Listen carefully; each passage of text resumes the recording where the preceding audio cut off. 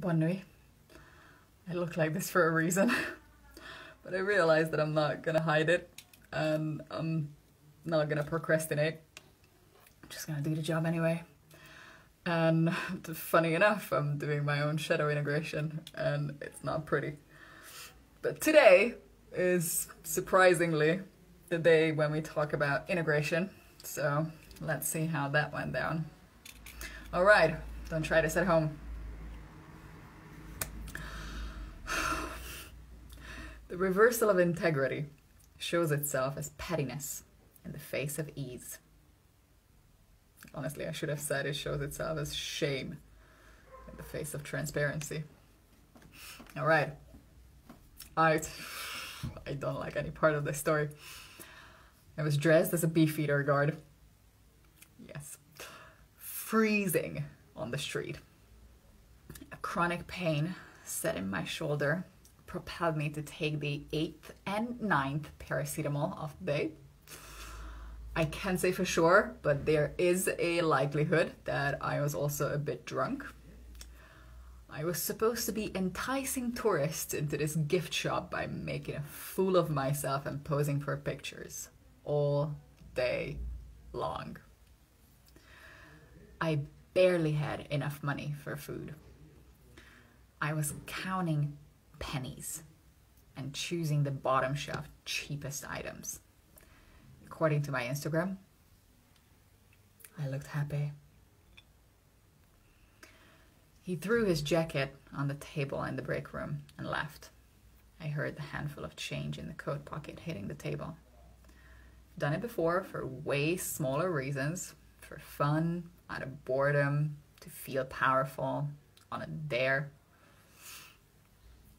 fleeting voice in my head went, I'm done with being that person. I'm better than a thief. And I did it anyway. I went through his jacket and pocketed just the right amount of coins. He wouldn't even notice. And I had enough to cover my bus ride home. A heart thumping few minutes later, he returned with a box of donuts, grabbed his coat, and pushed the box in front of me. You want one?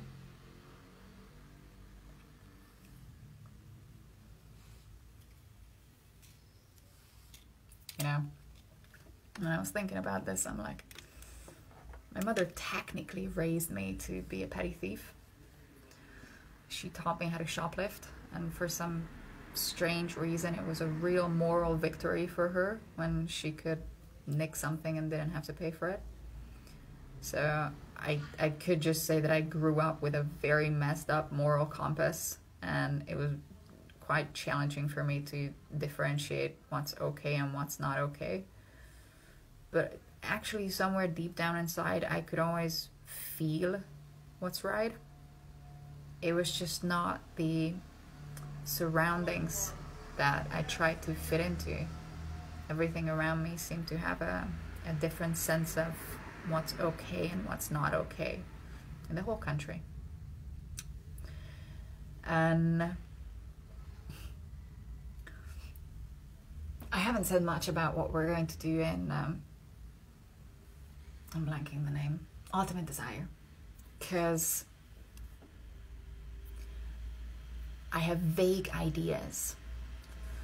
What I've done in the past year ish is that I've gathered so much information, raw data, tools, techniques, tips, tricks. And I realized that I, I personally went through all of them at a ridiculously fast pace. And now it's all coming down. And it, it really is personal to everyone what works and what doesn't work. And for me, one of the most profound things, and if you guys are interested in it, but that's totally a group decision and a personal decision as well. If you guys are interested in it, then we are going to meet a group of beings who have been working with you personally. They are your personal team.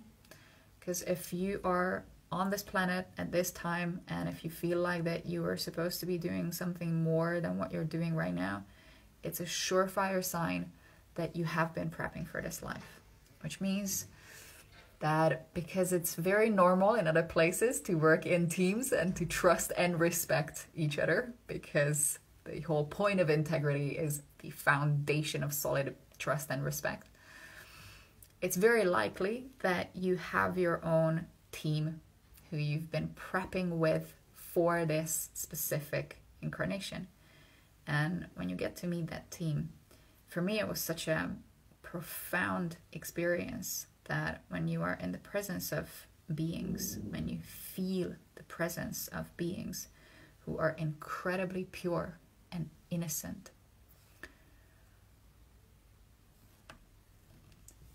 full on transparency, they can not just see through you, they can feel and know exactly how you are and who you are. They can just read your energy. I felt incredibly shameful.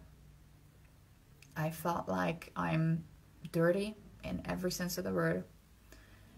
I felt like I've done so many things that I could only get away with because I thought that I'm a good enough liar or a good enough thief or a good enough whatever cheater. And if I would have been completely transparent or if we would live in circumstances where people could actually see right through you fully transparently, I probably wouldn't have done those things. And I'm not blaming it on culture, I'm not blaming it on the environment, I'm not blaming it on circumstances because I was the one who was doing all those things. But it is a factor that if collectively we would have set up different rules for the game, it wouldn't have even crossed my mind because when I sat in front of those beings who just palpably saw and felt and knew everything that I was and everything that I am, there was nothing to hide. And I wasn't afraid. I wasn't feeling like I'm going to be punished. There's no sense of morality.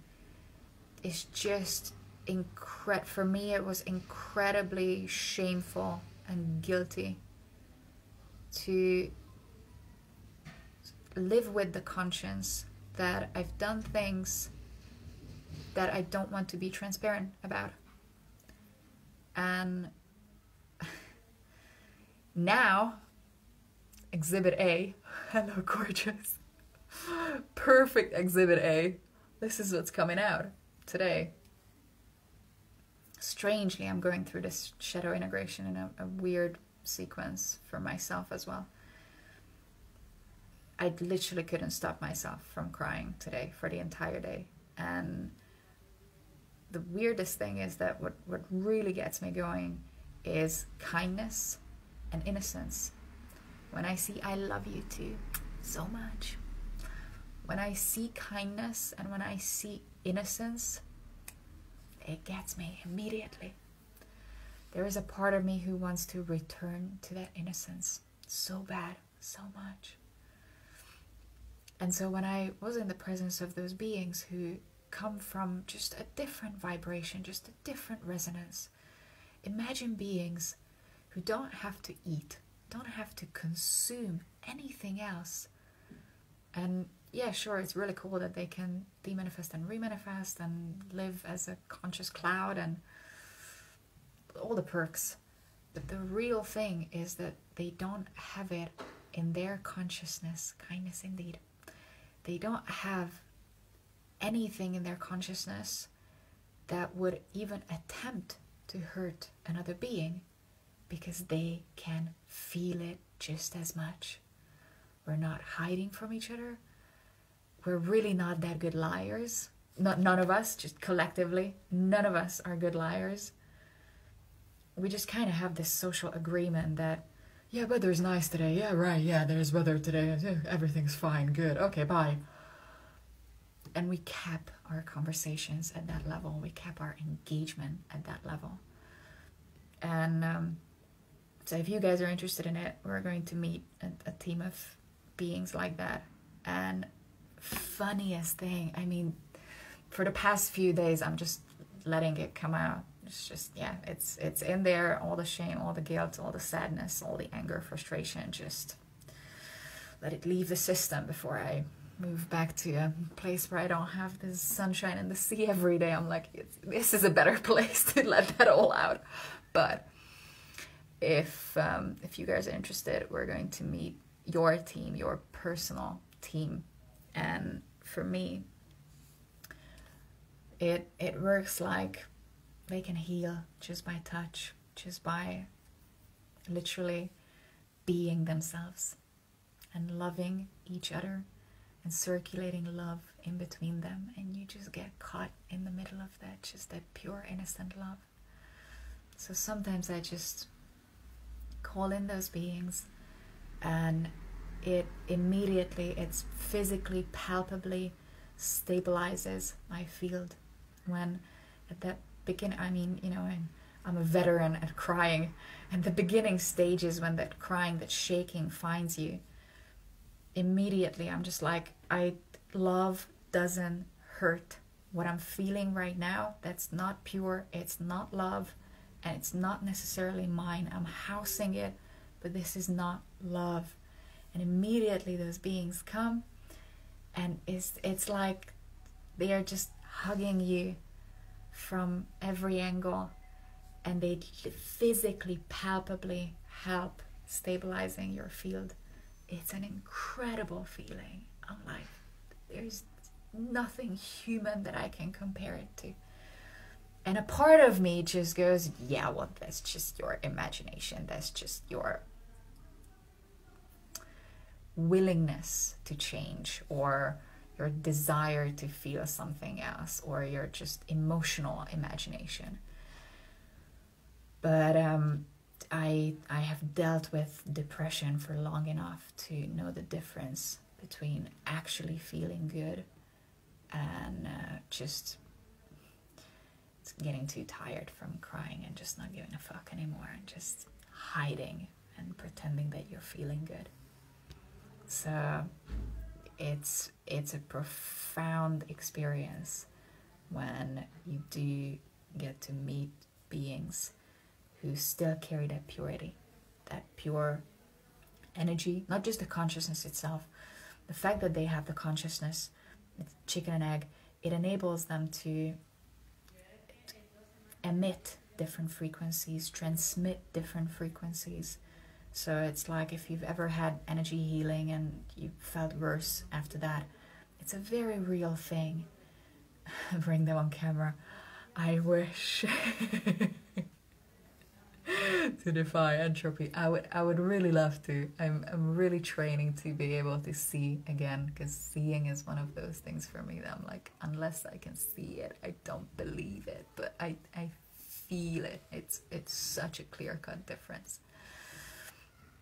So um when when I'm in the presence of that purity, it's not imagination. I've tried to deal with my own biochemistry in many ways. Many of them did not work out, alcohol and drugs. But that pure distilled essence of love, trust, peace, incredible respect. It's enabling me or reminding me of a state where there is no dichotomy, there is no polarity. It's just they manage to merge and find each other in the middle. Anywho, I'm going to cap this mostly because today I've spent the entire day crying, so I'm, I'm gonna sleep. But I'm happy that you're here. I'm happy that I'm still here. And uh, tomorrow we're gonna do this again on Instagram. Love you so much. And if you guys want to work together, I'm getting more and more confirmation biased about it, reassured about it that it's the right next step for, you know, a very specific group of people. I love your tears and I love you. but I'm, I'm sure that I will find the right people who this speaks to at this time of their lives that proper emotional integration where you get to feel your feelings and you get to have techniques to work through those feelings. I find it really important because I've overloaded my mind, my mental capacity with a bunch of information, a bunch of data, a bunch of wishes that I, I really wish that life would be like this. But my relationships and my day to day life doesn't reflect it as such. So now I'm learning how to feel again like a baby. It's like that's what happens to you after 20 years of depression. You literally have to learn how to feel because you just didn't want to. Anywho, love you so much. See you tomorrow.